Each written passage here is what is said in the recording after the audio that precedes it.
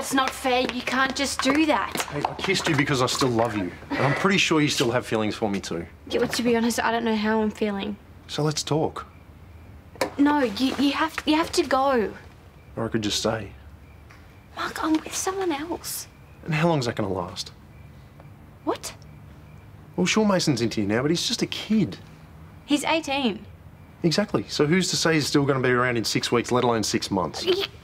Can't say that. You don't know the first thing about him. I know he's up for attempted robbery. Do you really want to invest in someone that could be going away for a very long time?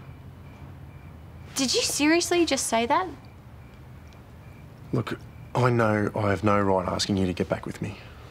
But I promise if you do, I'll never let you go again. This is crazy. We can start a new life together here or back in Sydney with Soph and Harry. I can't even believe we're having this conversation. And I never thought I'd have this chance again. So if you think I'm going to let you go without a fight, you are seriously mistaken. What are you doing here? You said you'd call. Yo, I'm working. I can't wait. Kate, I love you and I want to be with you. Me? Me another chance. Well, I can't talk about this right now, Mark. It's not hard, yes or no? Isn't that your brother?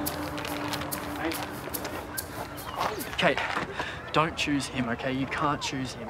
Do you mind? He's got a girlfriend back in Sydney. Go on, tell her. Is that the truth?